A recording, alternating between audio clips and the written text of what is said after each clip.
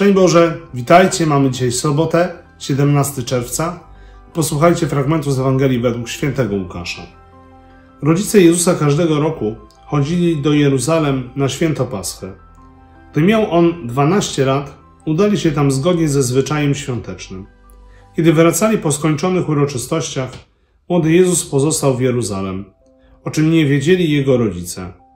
Myśląc, że jest wśród pielgrzymów, przeszli dzień drogi i szukali go między krewnymi i znajomymi. A gdy go nie znaleźli, wrócili do Jeruzalem, szukając go. Dopiero po trzech dniach znaleźli go w świątyni. Siedział pośród nauczycieli, przysłuchiwał się im i zadawał pytania. Wszyscy, którzy go słuchali, byli zdumieni bystrością jego umysłu i odpowiedziami. Gdy go zobaczyli, zdziwili się. Matka powiedziała do niego: Dziecko, dlaczego nam to zrobiłeś? Twój ojciec i ja, pełni bólu, szukaliśmy ciebie. On im odpowiedział: Dlaczego mnie szukacie? Czy nie wiedzieliście, że muszę być w tym, co jest mego ojca? Oni jednak nie zrozumieli tego, co im powiedział. Potem poszedł z nimi, wrócił do Nazaretu i był im posłuszny. A jego matka zachowywała wszystkie te słowa w swym sercu. E,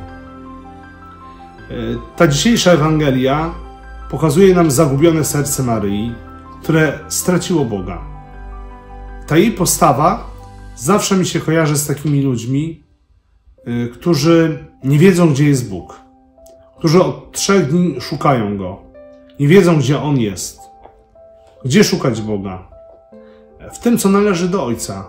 Taką odpowiedź daje nam Pan Jezus. Co to oznacza dla nas? Jeżeli chcesz znaleźć Boga, to szukaj ludzi, wspólnot, przestrzeni, narzędzi, które naprawdę do Niego należą. Znajdź ludzi naprawdę należących do Boga, po których widać, że naprawdę kochają, co święci w pewnym sensie.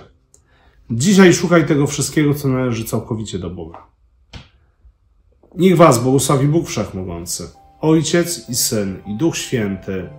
Dobrego dnia. Szczęść Boże.